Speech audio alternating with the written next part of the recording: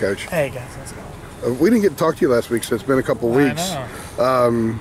The defense is showing improvement every week. What, what is the, the, the biggest reason why the group has uh, been progressing?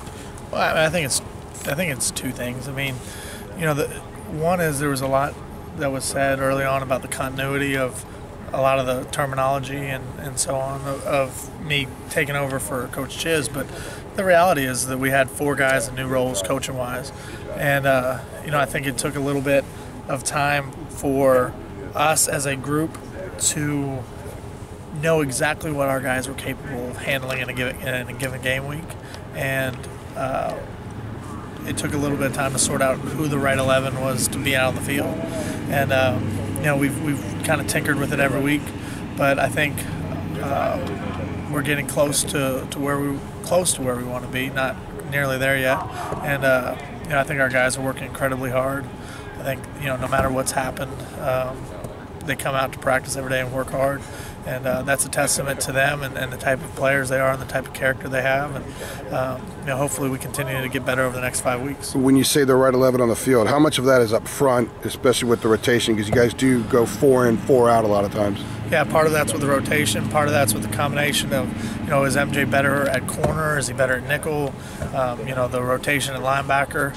Uh, we've kind of tinkered with all that, and, and sometimes we had to because of some injuries. And in other cases, you know, it was choices of, of getting the right guys on the field. What do you see from Myles Wolfolk? Play shows some flashes in every game he's played. It seems. Yeah, and I think that's a great way to, to describe him. He showed some flashes. There's some things that he needs to continue to, to work on and get better at. But uh, for a guy that really is playing in his first games, you know, he's the ODU was his first game of his college career. I think every week he's gotten a little bit better a little bit more confident, uh, a little bit more assertive in terms of making all the calls and the checks. So, you know, I'm hoping that you know over the course of this year, going into his sophomore year, he feels very comfortable and, and confident in being one of the leaders of, of, the secondary. What's holding you back from eliminating that one catastrophic play that, has been the issue in several several weeks in a row? You know, I, I, it's a great question because um, you know in pretty much every game, even the ones that we felt like we played pretty good, and there, there is that play. There's different symptoms for it. You know, I, I've worked really hard with our staff on trying to find if there was one thing that it was, and it really isn't one thing. Um, you know, it's it's our challenge is going to be able to be focused and play with the type of effort that eliminates that for four quarters.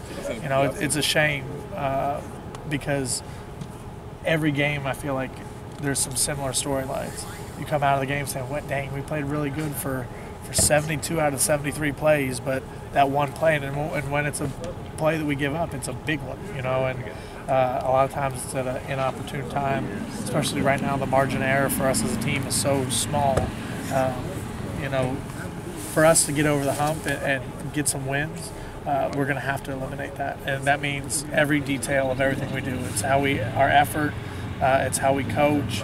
It's it's how we execute our assignment. That's the only way it's going to happen. Coach Fedora's mentioned kind of the positivity the players have brought to practice throughout each week, given the, the record and the losses. What have you seen, and what do you do as a coach to kind of you know keep the team together and keep everything positive through these times? You know, I mean, the, really, truly, the message ha- isn't that different now than if, if we were having great success.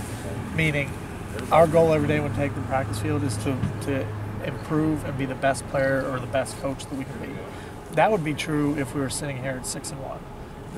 That doesn't change if you're not winning. Um, so every day, our, our objective is to get a little bit better as a defense, and for each individual to find something that they can improve upon in their game. For us as coaches, we try to be a little bit better every day in, in what we do. And if everyone continues to try to do that, uh, then we will ultimately get to where we want to be. I know that sounds cliche, and even tiresome at times, but um, that's the reality. That's all we can do. Are Cole and Cayson uh, playing their best football the last few weeks since you've been here?